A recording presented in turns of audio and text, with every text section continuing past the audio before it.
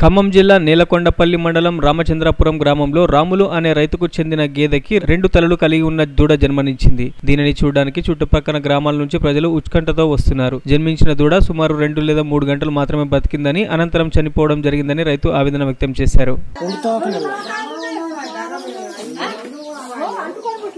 పాకలు రెండు వచ్చినాయి రెండు తలకాలు వచ్చినాయి అంటే అతుక్కొని ఉందా రెండు దోళ్ళు అయినా బాగుండే ఏమో రెండు అయినా బాగానే ఉంది.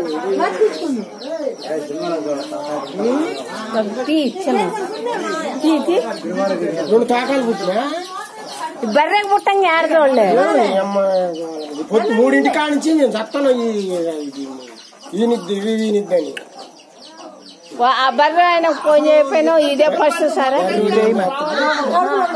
ఇదివరకు ఎట్లా